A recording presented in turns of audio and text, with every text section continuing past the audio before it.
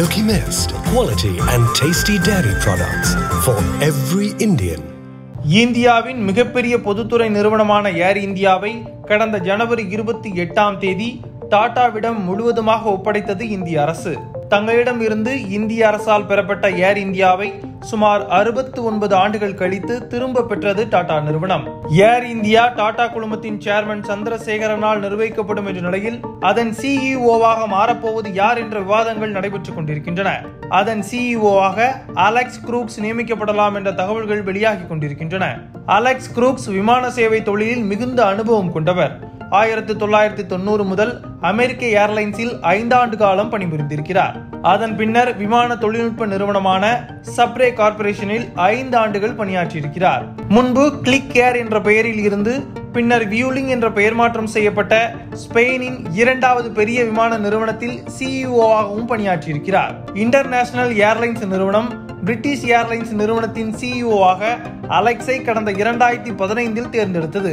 இந்த நிறுவனத்தின் வசம்தான் பிரிட்டிஷ் ஏர்லைன்ஸும் பியூலிங் ஏர்லைன்ஸும் இருக்கிறது. இரண்டாயிரத்தி பதினாறாம் ஆண்டு பிரிட்டிஷ் ஏர்வேஸுக்கான கம்ப்யூட்டர் பிரிவிற்கு டாடா நிறுவனத்தின் டிசிஎஸ் மூலமாக அவுட் சோர்சிங் செய்திருக்கிறார் அலெக்ஸ். பணியாளர்களை குறைப்பதில் வல்லவரான இவர் இந்த சமயத்தில் எழுநூறு பேரை வீட்டுக்கு அனுப்பியிருக்கிறார். கொரோனா பெருந்தொற்று காரணமாக இரண்டாயிரத்தி இருபதாம் ஆண்டு பிரிட்டிஷ் ஏர்வேஸில் சுமார் பதிமூன்றாயிரம் பேருக்கு வேலை பறிபோனது அதையும் செய்தவர் அலெக்ஸ் குரூப்ஸ் தான்.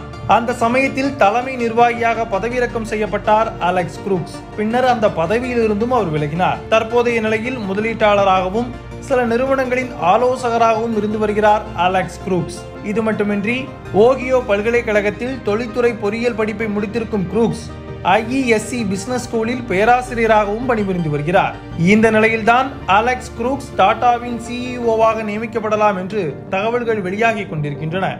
Air India Air India Express Vistara மற்றும் ஏர் ஏசியா இந்தியா ஆகிய விமான நிறுவனங்கள் தற்போது டாடாவின் வசம் இருக்கின்றன. இவைகள் தனித்தனியே இப்படியே இயங்குமா? அல்லது இணைக்கப்பட்டு இயக்கப்படுமா? அல்லது ஏர் இந்தியா எக்ஸ்பிரஸையும் ஏர் ஏசியா இந்தியாவையும் இணைத்து குறைவான கட்டண விமான சேவையாக்குமா என்று இன்னும் முடிவு செய்யப்படவில்லை. விஸ்தாரா ஏர்லைன்ஸில் சிங்கப்பூர் ஏர்லைன்ஸின் நாற்பத்தி ஒன்பது சதவீத பங்குகள் இருப்பதால் ஏர் இந்தியாவுடன் அதை இணைப்பதற்கு சம்மதம் கிடைக்கும் வரை அது தனித்தே செயல்படும் என்றும் தெரிய வருகிறது ஏர் இந்தியாவின் ஹார்ட்வேர்கள் பழையதாகிவிட்டதால் அதை புதுப்பிப்பதற்கான தேவை ஏற்பட்டுள்ளது.